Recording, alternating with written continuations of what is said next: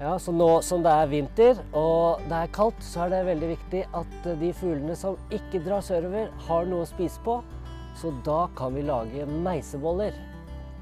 Og her har jeg en blanding av eh, havregryn og litt forskjellig eh, korn.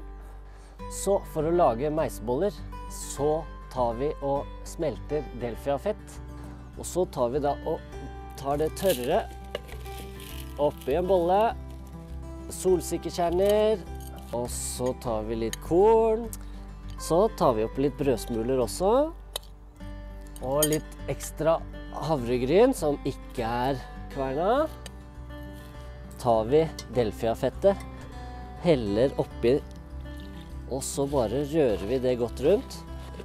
Og da er vi klare til å fylle det i form.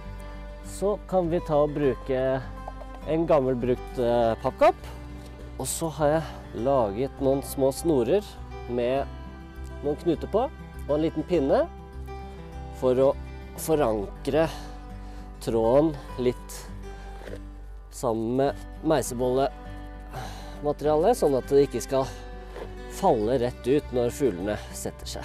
Det kan lønne seg å ha litt mer delfiafett i blandingen, som er litt våtere enn den massen jeg jobber med her.